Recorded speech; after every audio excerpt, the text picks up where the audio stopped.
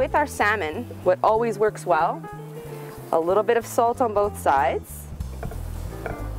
I, you see I've left the skin on on the other side because I don't want to grill it so that it burns on that side. I want it to be light grill. A little bit of pepper, a little oregano. This is from the mountain of Greece. It's my grandmother's hand ground oregano and I think it's the best. It's the only one I'll cook with for sure, especially with fish. And I like to just squeeze it with a little bit of lemon. And we can pop that on the grill. Turn the grill to medium heat, medium to low. Let it sit there for a couple of minutes.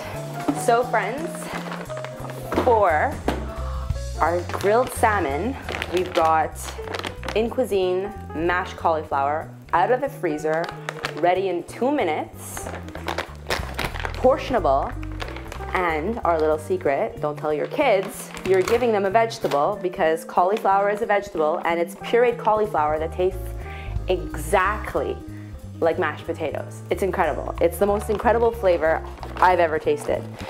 So they're portioned out at little pellets, which gives you the ease of cooking them up quickly and being able to serve yourself, your husband, your children. So it depends on the evening. If you're one, two, three, four people, it serves up to five. So it's great. Let's put them in the microwave for two minutes. So pop it out of the microwave.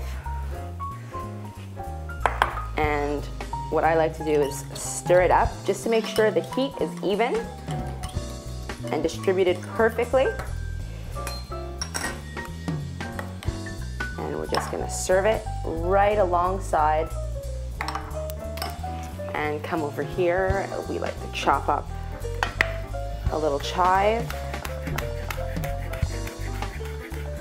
Great. Sprinkle that right on top. And I always like to serve my fish with a piece of lemon. People like to add it, so a little piece of lemon and we're good to go. In Cuisin, cauliflower mash with grilled salmon. Enjoy.